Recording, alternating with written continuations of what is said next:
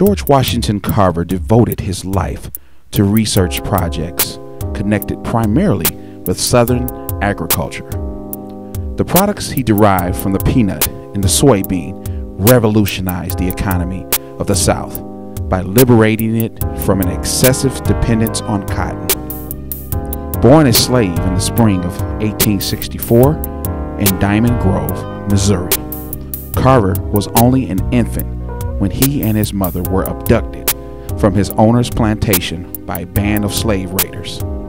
His mother was sold and shipped away, but Carver was ransomed by his master in exchange for a racehorse. While working as a farmhand, Carver managed to obtain a high school education.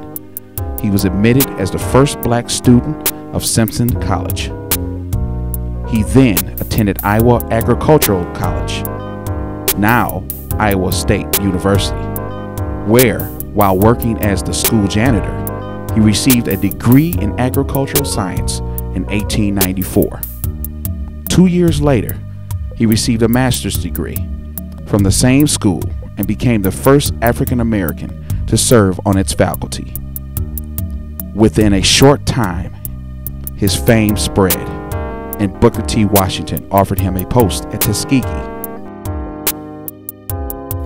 Carver revolutionized the Southern agricultural economy by showing that 300 products could be derived from the peanut. By 1938, peanuts had become a $200 million industry and a chief product of Alabama. Carver also demonstrated that 100 different products could be derived from the sweet potato. He did hold three patents. Carver never patented most of the many discoveries he made while at Tuskegee, saying, God gave them to me. How can I sell them to someone else? In 1938, he donated over $30,000 of his life savings to the George Washington Carver Foundation and willed the rest of his estate to the organization so his work might be carried on after his death.